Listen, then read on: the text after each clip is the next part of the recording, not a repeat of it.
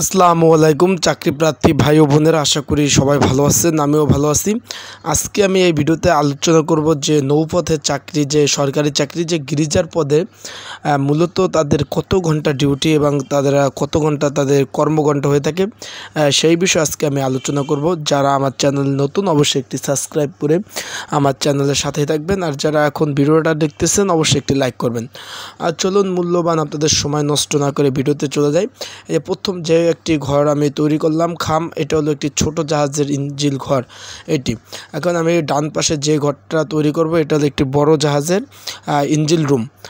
সেখানে আমি তুলনামূলক আপনি দেখাবো যে একটি বড় শিপ বা জাহাজে কয়জন গিরিজা থাকে এবং ছোট জাহাজে কয়জন গিরিজা থাকে এবং তারা কয়জন থাকে এবং কয় ঘণ্টা, তারা কর্মঘণ্টা হিসাবে কাজ করে। এই বিষয়ে আপনাদের মাঝে আমি সম্পূর্ণ হাতে লেখে এবং হাতে কলমে এটা সম্পূর্ণ বুঝিয়ে দেব।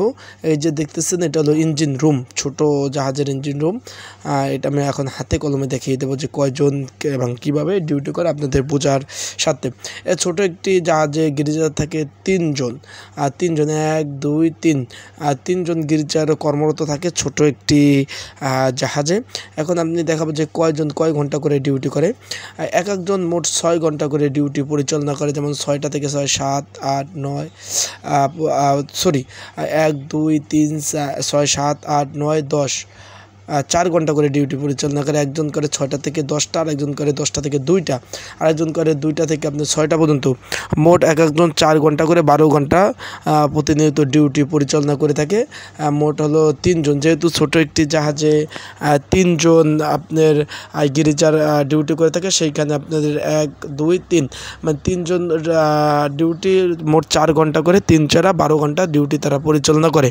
এছাড়া কোনো সময় যদি কেউ আপনার এক ঘণ্টা একজন ছুটি গিয়ে থাকে, সেই ক্ষেত্রে কিন্তু আপনাদের এক এক দুইজন মানে এক, একজন ছয় ঘণ্টা ছয় ঘণ্টা বারো ঘণ্টা করে ডিউটি পরিচালনা করে। এছাড়া তিনজন থাকলে ছয়টা থেকে ছয়, সাত, আট, নয়, দশ, এগারো, বারো, এক, দুই, আবার ছয়টা মানে তিনজনে আপনার বারো, চার ঘণ্টা করে ডিউটি করে, আর যদি একজন ছুটিতে থাকে, সেই ক্ষেত্রে ছয় ছয়, বারো ঘণ্টা কেউ ছয়টা থেকে বারোটা পর্যন্ত আর একজন বারোটা থেকে আপনার ছয়টা পর্যন্ত, এরকম তারা ডিউটি পরিচালনা করে থাকে।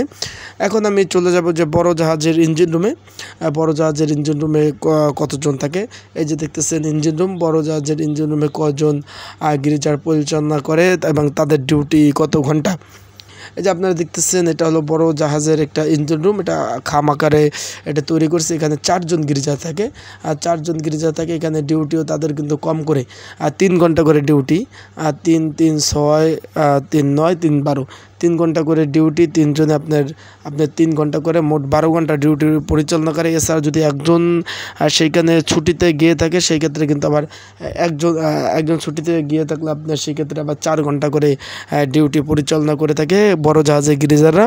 আশা করি আপনারা হাতে কলমে বুঝ বুঝে গেছেন যে একজন গিরিজারের মোটামুটি ডিউটি কত ঘণ্টা এবং কত ঘণ্টা তারা ডিউটি পরিচালনা করে থাকে এবং তার কাজ কাজের ডিউটি কত ঘণ্টা।